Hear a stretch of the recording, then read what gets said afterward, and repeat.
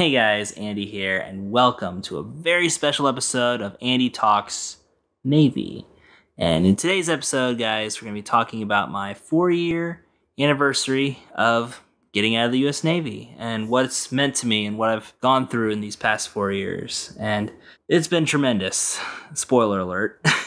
so let's get right into it.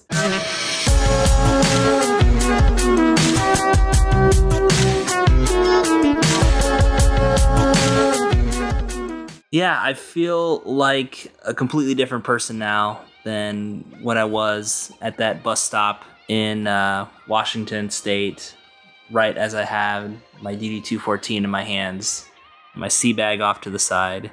It's almost like I don't even know who that person is anymore. like I go back to look at my my last Andy Japandy video for now.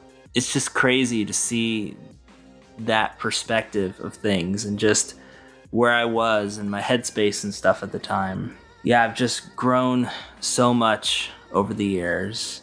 You know, maybe a little too literally, but uh, we're working on that. We're working on that. I'll just give you the Cliffs Notes version of my story because I've told it so many freaking times. But uh, basic gist of it is that when I first got out of the U.S. Navy, I went to Western Michigan University out in Kalamazoo, Michigan originally doing a computer information systems major, and I failed miserably that first semester. So I decided to bet on myself and switch over to video production. And uh, did a little better that semester, enough to keep me going in the program. And then eventually, depression, anxiety, all that stuff started happening.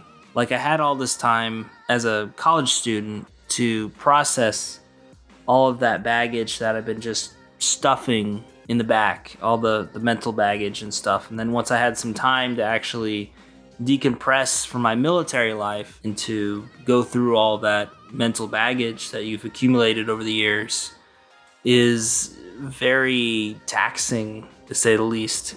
It really began a spiral in my mental health. My grades started to to slip and I decided to um, transfer over to uh, the community college to uh, get my GPA back up. And plus, with Western, the uh, the video production major was focused more on traditional media, so like TV and films and movies and stuff like that.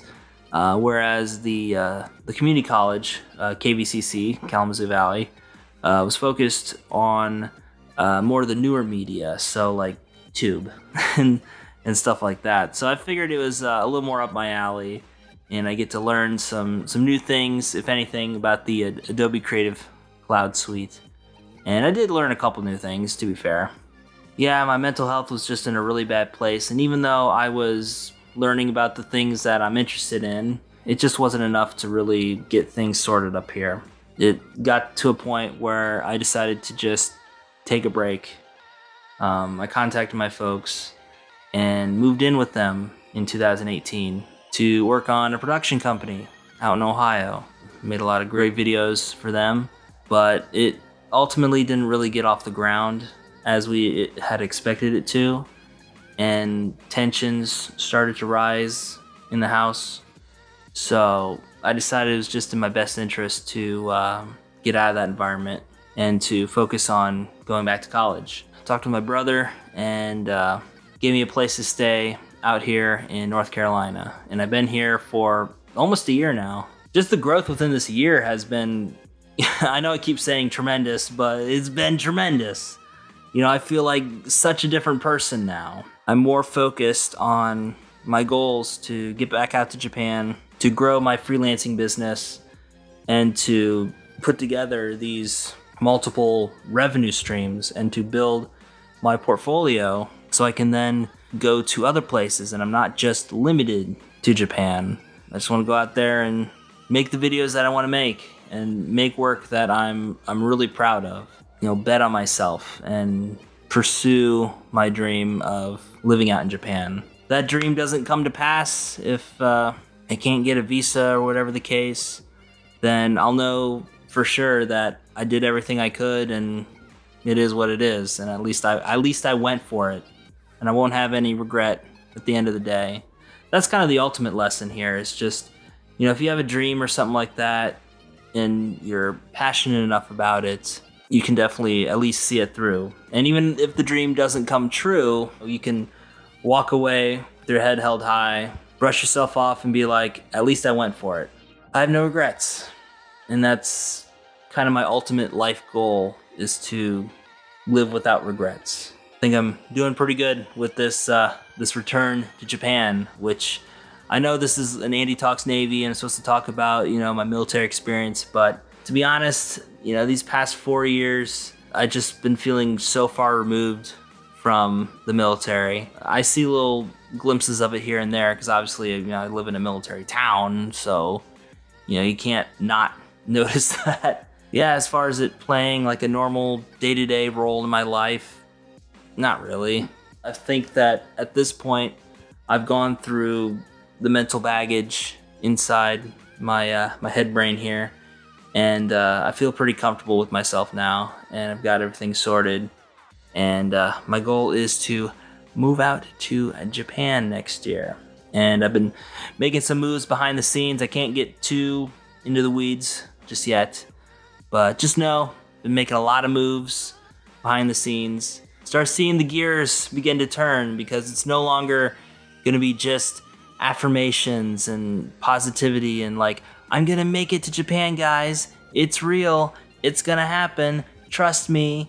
Like, you're gonna see some results, some action involved with that. So, been feeling really nervous about it actually, but uh, that's when I know that it's actually starting to happen. Is when I feel that little tinge of nervousness, of just like, oh shit, yeah, nervous but excited. But in any event, guys, I feel like a whole new man and I feel like I know my next goal and I have my next mission, as it were, in front of me. And things are starting to get real. I can't wait to take you guys on that journey with me. It's almost like when I joined the Navy nearly a decade ago. Yeah, I just can't wait for the next phase of this channel to kick off and I've been waiting for uh, for four years at this point.